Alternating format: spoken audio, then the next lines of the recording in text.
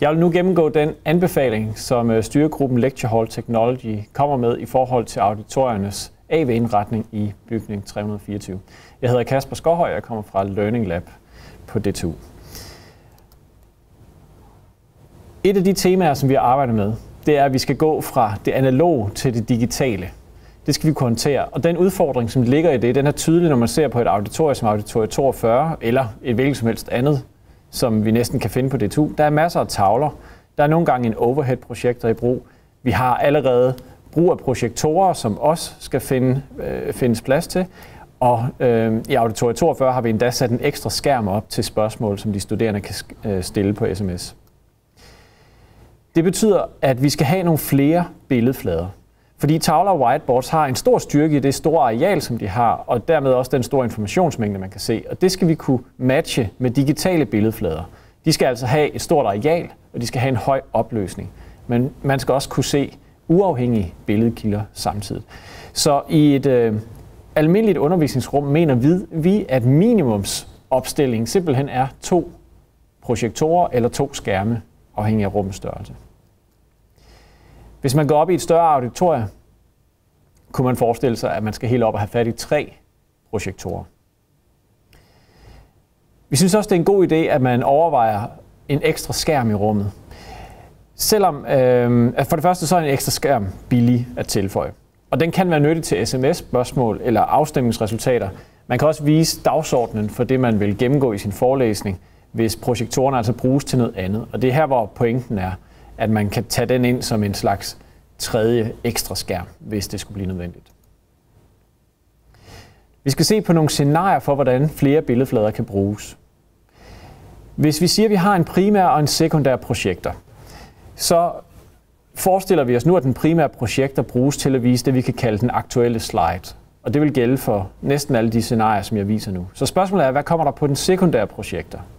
Og et scenarie, det er, at den sekundære projekter er koblet op på noget automatik, som hele tiden viser den slide, som var på den primære projekter for et øjeblik siden. Og noget af det, som vi ønsker at løse øh, ved den løs eller øh, imødekomme ved den løsning, det er, at studerende ikke skal føle, at PowerPointen forsvinder væk. Så som man kan se på illustrationen her, der sker et skift på den primære projekter, og den sekundære projekter følger med og viser den forrige slide umiddelbart efter. Et andet scenarie det er at bruge en billedflade til at vise spørgsmål, som kommer ind på sms for eksempel. Vi bruger det allerede i øh, nogle kurser på DTU. Spørgsmålene kan på den måde stilles anonymt, og det kan man jo gøre både som deltager i lokalet, men man kan selvfølgelig også som fjerndeltager via videostreamen øh, stille spørgsmål på den måde, som nærmest den eneste måde. Beslægtet med, så kan man bruge den sekundære projekter til at vise afstemningsresultater. Og øh, det, der menes med afstemningsresultater, er, at afstemninger på digital form, polls kaldes de også, eller Audience Response Systems i en meget bred forstand, der er ideen, at man stiller spørgsmål omkring konceptuelle faglige spørgsmål til de studerende i rummet. Og det er en rigtig god måde at aktivere studerende i den ellers meget statiske situation, når man sidder og lytter til en forelæsning. Og en af ulemperne, som man får ved at gøre det elektronisk frem for håndsoprækning, det er dels anonymitet, og at man har mulighed for at samle det op til en efterfølgende statistik. Noget, man kan gå hjem som underviser og bruge til at forbedre ens undervisning, fordi man ligesom har øh, et fingerpeg om, hvor de studerende skal skærpes. Den sekundære projekter kan selvfølgelig også bruges til at vise eksterne billedkilder.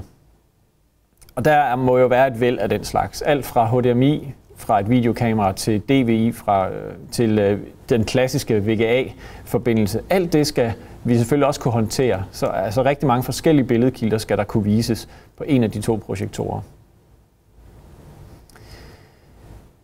På den øh, sekundære projekter kan man også forestille sig, at man kobler en visualizer på. Og en visualizer det er en slags digital overhead-projektor. Eller dybest set er det et kamera med nogle lyskilder, som gør, at man kan lægge et stykke papir på bordet og få kameraet til at gengive det på skærmen. På den måde så kan man altså vise sider fra en bog eller papir. Det er øh, den moderne erstatning for en overhead-projektor. Man kan også bruge den til at vise detaljer på øh, emner, som man har med til forelæsningen. En øh, digitizer, det er en tegneplade, hvor at skærmen, øh, computerskærmens billede øh, er, øh, eller det er faktisk en skærm med, som viser computerens billede. Men så er der en pen, som gør, at man kan tegne eller flytte markøren øh, rundt meget naturligt ovenpå. Øh, man kan sige, at en Wacom Digitizer ser vi som universitetets smartboard. Vi mener, at det giver den mest naturlige digitale skriveoplevelse overhovedet, og den gengivelse, som vi har opnået med vores øh, eksperimenter, øh, er rigtig, rigtig flot, så øh, man kommer meget tæt på oplevelsen af at skrive på et stykke papir. Og øh, det øh, er også integreret rimelig godt med PDF-filer, øh, således at man altså kan notere oven på sine slides. Og en af fordelene ved at bruge en Wacom Digitizer er også, at man ikke står med ryggen til de studerende, når man forelæser og bruger skrift, men man sidder med front imod dem.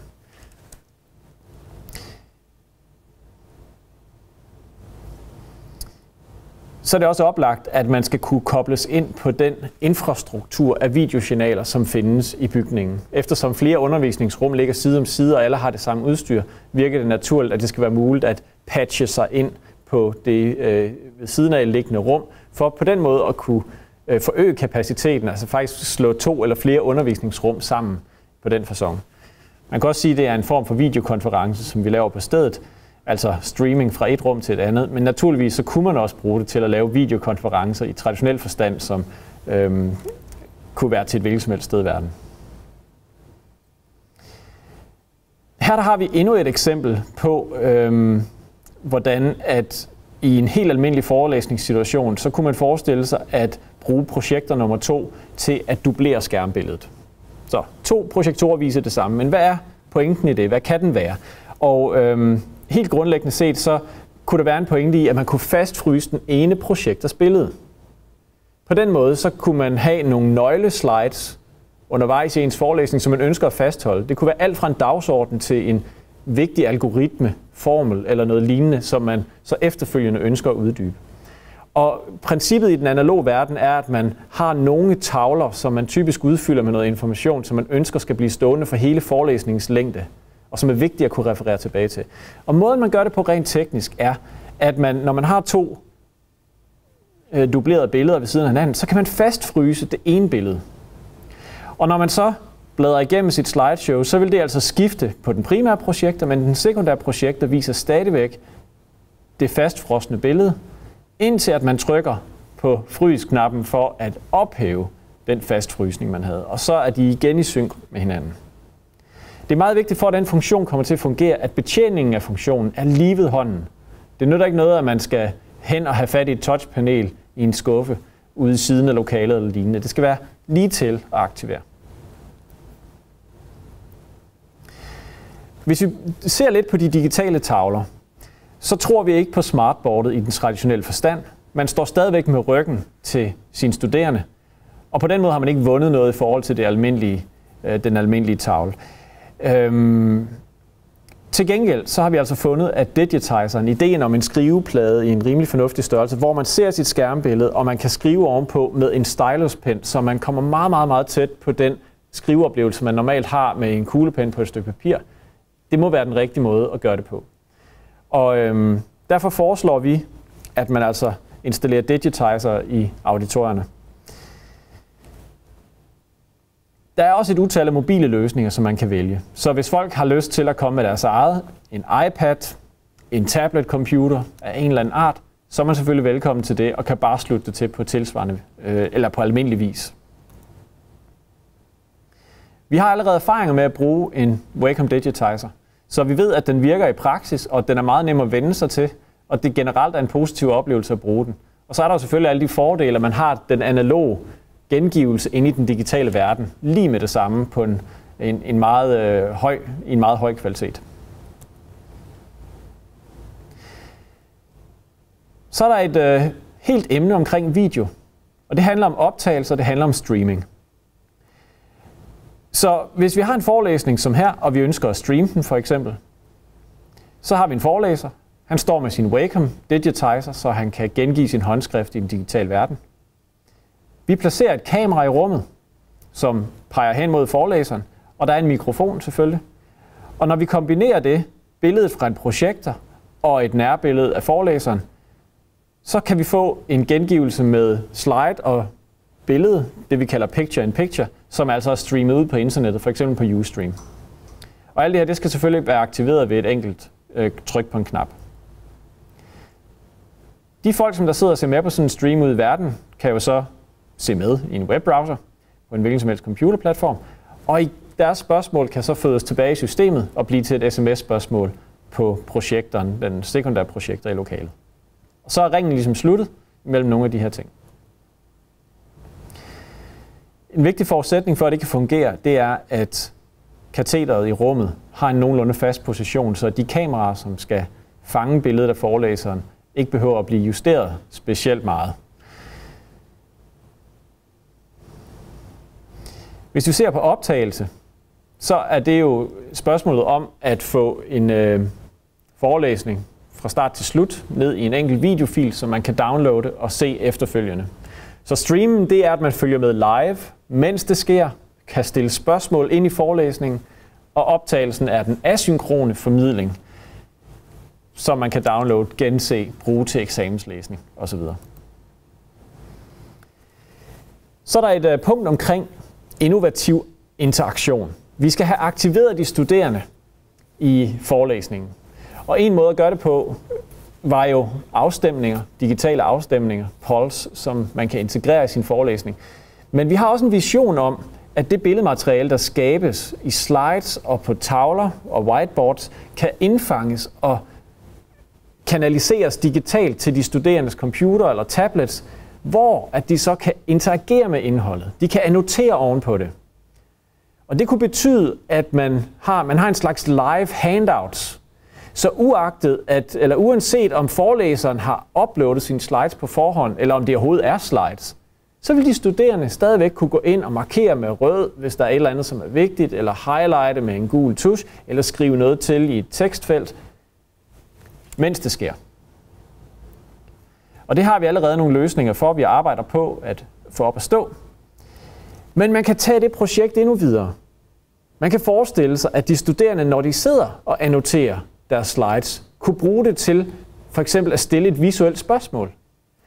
Så man har en slide, der er noget på tavlen, man ikke forstår, man markerer det, som, som man skal vise, eller måske tegner og skriver, øh, hvordan man troede, det skulle være. Formulerer det som et spørgsmål, og ved et tryk på en knap, så sender man den slide retur, og den optræder som et spørgsmål i køen af spørgsmål, som allerede ligger digitalt, og underviseren kan så vælge at hente det frem og få det vist på projektoren. Sådan som det bliver illustreret nu.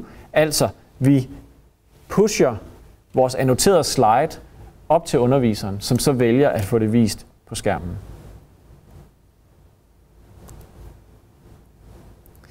De studerende skal selvfølgelig have noget AV til deres gruppearbejde. Og her der mener vi, skal gå efter en, en enkel løsning. En af udfordringerne i bygning 324, det er, at vi har ikke vægflader, som kan bruges til, øh, eller, eller gruppearbejdsområdet er ikke omkranset af vægflader, vi kan hænge skærme op på. Så vi skal have nogle skærme til gruppearbejdet. Vi skal have en simpel tilslutning med et VGA HDMI-kabel, eller det kan være Apple TV med AirPlay, hvis det giver mening. Det kan vi altid udbygge. Men pointen det er, at de skal være mobile, de skal være der i stort antal, og de studerende skal bare lige kunne trække det ind fra siden, og så har de en skærm, som de kan sidde samlet om fem styk. Der er strøm omkring deres arbejdsplads, det er ikke noget problem. Enkelt, simpelt. Så hvis vi summerer det her op, så snakker vi altså om højopløste billedflader. Mange forskellige billedkilder skal være mulige. Vi skal have intuitive digitale tavler som en Wacom Digitizer. Et digitalt whiteboard. Vi skal have videooptagelse og streaming muligt ud af boksen. Der skal være interaktionsformer, som aktiverer de studerende, og som støtter dem og som hjælper dem. Gør det, gør det nemt og relevant at sidde og tage noter for eksempel. Og som også kunne bruges til at stille spørgsmål tilbage. Vi skal have AV til de studerende, til deres gruppearbejde. Og så skal der ligesom iboende være en løbende innovation omkring e-læring. Og det skal det hele kunne understøtte. Så det er nøglepunkterne. Og de principper, der så skal ligge bag at lave en teknisk løsning, som får fat i alt det her, det er, at det skal være brugervenligt. Intuitivt. Man skal have oplevelsen af, at det virker bare. Det skal også være så barrierefrit, som det kan blive at komme fra det analoge til det digitale. Lakmustesten på det er, at kritunderviseren føler sig nogenlunde komfortabel ved at træde ind i at bruge de digitale øh, med, øh, hjælpemidler til at, at formulere den samme forelæsning, som man ellers ville have gjort i øh, på en kridtavle. Det skal være fleksibelt, og det skal være øh, muligt at udvide. Og her er der tre søjler. Den første det er, at der skal være meget lidt fast hardware, men noget skal der være. Og her der snakker vi om nogle rigtig gode projektorer i HD, og med god lysstyrke, eller også meget store skærme. Og det ligger fast, og skal virke i mange år. Så er der mange udskiftelige komponenter. Det skal være sådan, at, og, og det er jo fordi, at der er ting i tiden, som, som øh, bare bevæger sig hurtigt. Så vi bliver også nødt til at regne med en del af bestykningen af noget, som har en kort levetid. Og det kan være i morgen, at der er et eller andet nyt, som vi skal koble ind i det her system. Så der er noget modularitet der på hardwarefronten, som vi skal tage højde, om, øh, højde for. Et eksempel kunne jo for eksempel være, hvis at Apple TV med deres AirPlay-funktion bliver den nye måde, at man streamer indhold fra sine mobile enheder op på en projektor. Jamen, så er det jo den, vi skal plukke ind. Men der er jo heller ikke nogen, der siger, at det er den rigtige løsning om tre år. Så kan det jo være, at der findes noget, som er endnu mere fleksibelt og mere relevant. Og det sidste, det er, at vi skal huske på, at software giver stor mulighed for på meget kort sigt at, at lave innovation omkring vores AV-installationer, og det skal vi også tage højde for. Så der er også en hel del, der skal ligge i software-delen. Det skal være dynamisk, det vi gør. Altså nye idéer og koncepter skal kunne implementeres kontinuerligt. Så kan vi sige om videoproduktionen, at den skal kunne køre ubemandet. Det skal være nemt, men det skal også stadigvæk være godt. Så der skal vi finde et, et kompromis. Og en af pointerne er, at der helst ikke skal være noget efterbearbejdning på den videoproduktion, vi laver. Det er altså noget fuldautomatisk, som skal kunne lade sig gøre. Og endelig så synes vi, at vi her har et bud, som er visionært, men som samtidig også er praktisk. Vi øh, går efter noget teknologi, som er på forkant med tingene, men det skal også være eksekveret på en overbevisende måde, så det bare virker. Hvis vi går ind og ser på, hvordan vi så forestiller os en pult, et kateter, som underviseren står bag, hvordan ser det ud? Hvordan er det bestykket? Så har vi en fast mikrofon. Det vil være hurtigt og bekvemt. Vi har en Wacom Digitizer i 22 tommer, som er tilsluttet en øh, fast computer, Mac eller PC, det finder vi ud af, i fuld HD-opløsning, hvor man bare medbringer sin PDF-fil på en USB-nøgle, og man kan så skrive oven på sine slides. Wacom Digitizeren skal være på en hæve-sænkepult. På den måde så kan man opnå en rigtig, rigtig god stilling til at stå eller sidde og skrive. Det er selvfølgelig vigtigt. Der bør også være en visualizer til rådighed. Så har vi betjeningspaneler, og her har vi gået efter en løsning med touchscreens. Så betjeningspanelet for projektorerne ser sådan her ud. Projektorernes billede vises på hver af de her touchscreens. Videoproduktionen bliver så styret fra det andet panel. Her der kan man betjene kameraet, og man kan aktivere streaming og optagelse til video. Der er selvfølgelig stikforbindelser til en øh, laptop, som jo så skulle stå på katheteret her omkring. Vi tror, det er vigtigt, at katheteret får en fast position, som nævnt. Og endelig så skal der også være et teknikskab, hvor man har de fornødenheder, som er øh, nødvendige at have ved hånden, som trådløse mikrofoner, forstærker og nødvendig lokal hardware til AV. Hvis vi ser nærmere på betjeningspanelet, så er det jo ret vigtigt, at betjeningen af alt det her er intuitiv. Og her der har vi en kongstanke i, at vores touchpanel samtidig er videoskærm, der viser projektorbilledet. Så det er konstrueret på den måde, at man ser det billede på de skærme, som er i betjeningspanelet. Der ser man det billede, der også bliver vist på projekterne bag en. Hvis projekterne er slukket, så ser billedet sådan her ud. Der er et flot DTU-logo, og man har instruks om, at man trykker for at tænde det. Og hvis projekterne er tændt, så vil man altså se sin slide, men samtidig så vil man også se noget menugrafik hernede, som forklarer, hvilke muligheder man har for at vælge signalkilde og i øvrigt betjene projekterne. Går vi ind på, hvordan det interface er skruet sammen, så har vi for det første en frys-funktion heroppe. Trykker man på det billede, så fastfryses billedet på projektoren, indtil man trykker på det igen. Trykker man på den her, så får man en visning op, hvor at billederne vises i en 2 x 2 matrix. Man kan altså se fire signalkilder ad gangen. Og det vil så være en anden måde at skifte signalkilde på, altså at man simpelthen bare kan pege på den, som man vil have. Det er også en måde at få øh, bekræftet, at der faktisk er signalinput på VGA eller HDMI, eller hvordan det nu er. Hernede har vi et traditionelt panel med knapper. Man kan vælge sit kamera, sin VGA-kilde, sin HDMI-kilde osv. Eller overhead-projektoren, den digitale version, som vi har. Eller en ekstern kilde fra et andet auditorium for eksempel. Man kan også blanke projektoren ud, så den bare er sort, og så kan man selvfølgelig slukke den. Hvis vi ser på videoproduktion, hvis den mulighed så er installeret i auditoriet, så vil der også være et betjeningspanel til video. Og vi mener, at det er vigtigt at have noget som et øh, robotkamera i rummet, som giver mulighed for at have forskellige faste beskæringer. Det kan være alt fra et totalbillede og så til et nærbillede af forelæseren. Og det ligger i nogle øh, forprogrammerede øh, beskæringer, som er en blanding af panorering, tilt og zoom. Og det kan vælges på den ene side af skærmen herover. Der vælger man altså sit preset, som det hedder. Og over på den anden side, der kan man så se det videobillede, som bliver streamet eller som bliver optaget.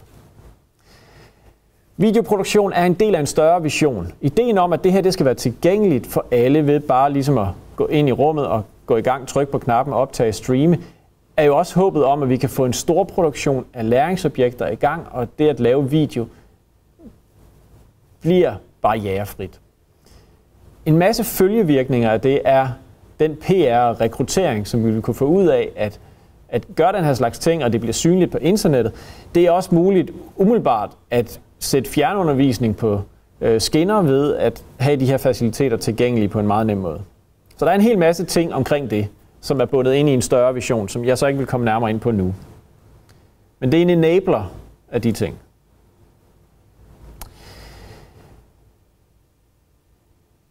Lad os prøve at se nærmere på de her presets. Man kan altså vælge billedvinklen ved at pege på et af felterne her. Så vil robotkameraet automatisk zoome derhen. Trykker man på auto, så kan man forestille sig en funktion, som automatisk detekterer, hvor henne i overbliksbilledet, at underviseren befinder sig, og så selv vælge det optimale preset. Og så er der også et brugerpreset, som man kan sætte sådan ad hoc. Nu kommer der en lille video, som illustrerer, hvordan vores prototype, som vi faktisk har fået til at fungere, den, den virker. Her kan man se, at jeg vælger et preset, og robotkameraet, som vises på den højre skærm, zoomer med det samme ind på det område, som der er markeret. Så vælger jeg et andet preset, og robotkameraet flytter derhen. Så sådan som det er vist her på videoen, så vil det altså komme til at fungere i praksis.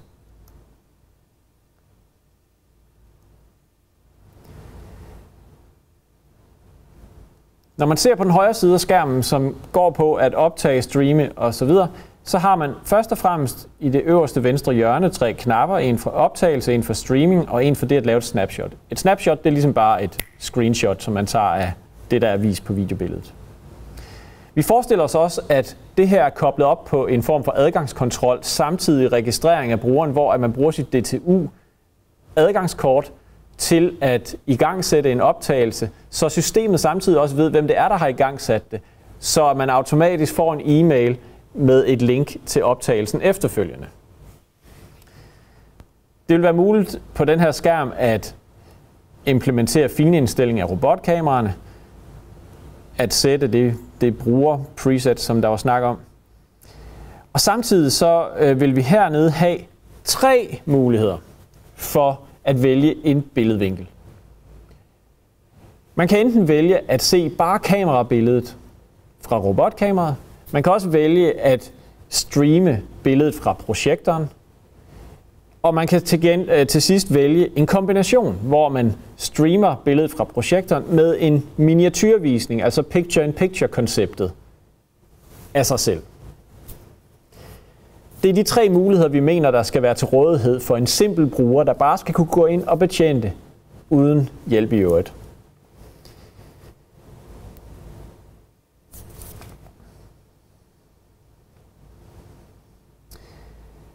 Der er tale om her, at vi har en basispakke, og så er der nogle tillægsmuligheder.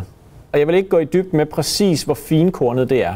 Men bare for at give en idé om, at sådan en installation er jo i sin yderste grundvold to projektorer, et, en central hop for signalkilderne, og så selvfølgelig muligheden for at koble signalkilder ind på. Mere simpelt kan det ikke blive. Så kommer oven på det alle de mange forskellige muligheder, som der er gennemgået i en eller anden form. Nogle af dem er betinget af hinanden, nogle af dem er ikke, men vi kan altså med andre ord vælge at overveje en bestykning af undervisningsrummene, som ikke inkluderer den fulde pakke, men hvor man tager nogle af de her komponenter ind. Og der i ligger der altså en, en tanke om modularitet, som øh, selvfølgelig kan, kan være meget, meget relevant. Til sidst så bliver vi nødt til at sige, at der er nogle ting, som ikke kun handler om AV, for at AV-installationen bliver en succes. Og vi har valgt at skære øh, dem ud i pap her. Brugen af tavler og projektorer skal kunne ske samtidig. Tavlebelysningen skal være jævn, og den må ikke forstyrre samtidig brug af projektorer. Den personbelysning, som er i rummet, den må for det første ikke blænde, men for det andet, så må den heller ikke være så stejl, at man for eksempel har skygger i øjnene. Det ser bare dårligt ud på video. Så der er noget med, at belysning både af tavler og person skal være venligt i forhold til videoproduktion. Og det bliver man nødt til at teste med et videokamera. Lærere, de bør sidde på en fast ramme, og de skal være placeret sådan, at der ligesom er tanke for indsynet fra alle sider. At der ikke er nogen steder, hvor man får nogle, nogle øh, blind spots. Dagslys indfald og mørklægning, det giver selvfølgelig sig selv, at man lige skal have tænkt over det. Hvis det er muligt i et nyt undervisningsrum, så vil det være en fordel, at underviseren står på et plateau, så at vedkommende er hævet en lille smule, og tavlerne også er hævet en lille smule. Det handler alt sammen om, at man kan, øh, at, at de studerende kan sidde på et fladt gulv og stadigvæk se, hvad der sker fremme foran. Og så er der en simpel ting til bygningsinstallatørerne. Ikke nogen sensorer med ultralyd. Det går i vores mikrofoner, og det vil vi ikke have. Det er sammenfattende den øh, version 1.0 løsning, som gruppen Lecture Hall Technology Team er kommet frem til i juni 2012. Tak fordi du så med.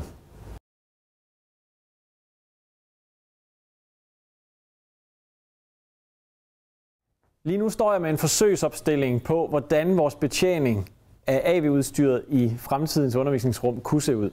Og foran mig har jeg et kateter, skal vi forestille os, og hvor, hvorpå at vi har to øh, betjeningspaneler med øh, touchscreens.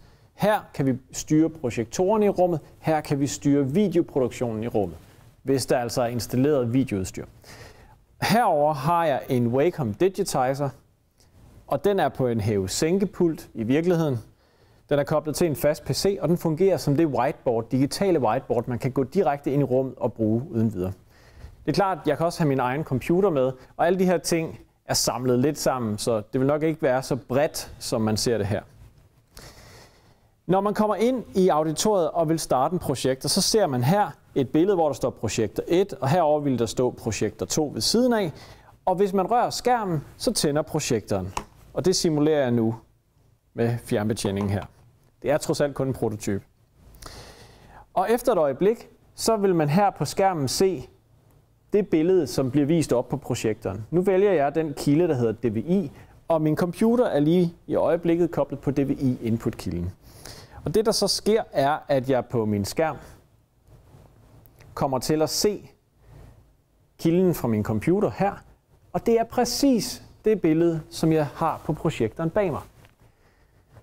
Og det samme vil være tilfældet for projektor 2. Så en underviser vil altid kunne se, hvad er der om bag ved ham ved at kigge ned på skærmene. Oven på skærmbilledet er der overlejret menugrafik.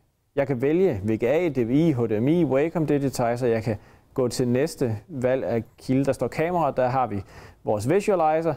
Eksterne kilder fra andre rum. Et, øh, en fire opvisning. Jeg kan gøre skærmen sort, hvis jeg vil. Og det vil jeg prøve at vise jer et par eksempler på nu. Jeg har jo herover en Wacom Digitizer.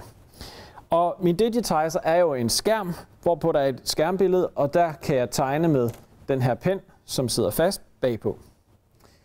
Før jeg bruger mit digitale whiteboard på digitizeren, så bør jeg naturligvis skifte til den signalkilde, så man kan se den på mig på projektoren her bagved, og det gør jeg ved at vælge den på mit kontrolpanel.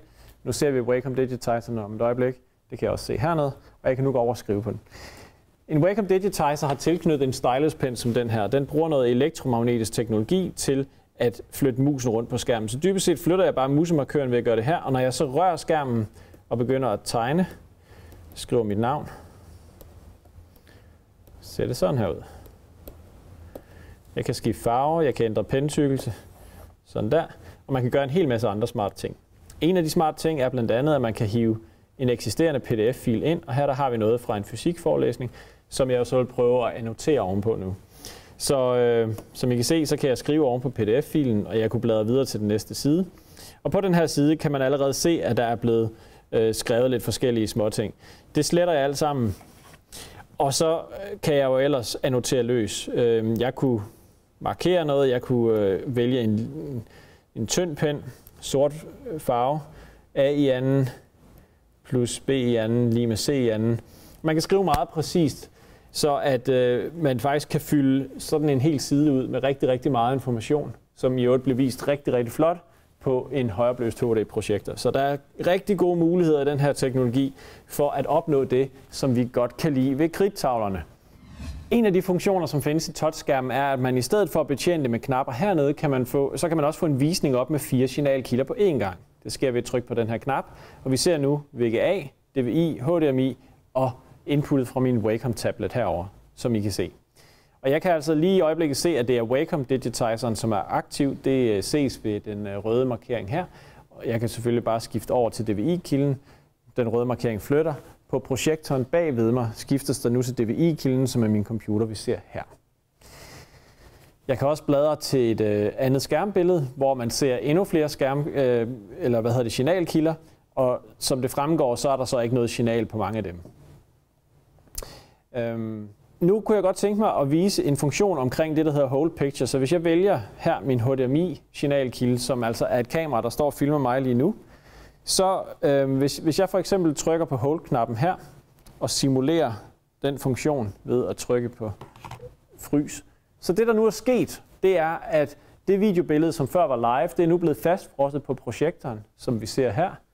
Og det er det indtil det øjeblik, hvor jeg ophæver funktionen ved at trykke her på skærmen.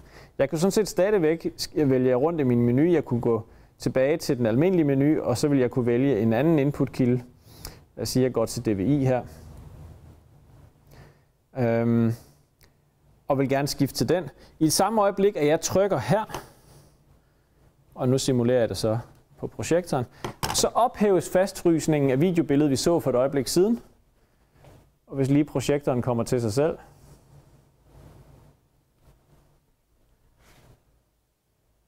så ser vi billedet fra min laptop igen. Det vil også være muligt, at man for eksempel kan trykke på knappen blank, og ved at trykke på knappen blank, så bliver projektorens billede bare sort. Og endelig så kan man vælge den her fire opvisning, som vi så før, altså hvor man har fire signalkilder vist samtidig. Den kan man også vælge at bruge i stedet til at vise fire signalkilder op på projektoren. Det er også en mulighed med den hardware, som er knyttet ind til systemet her.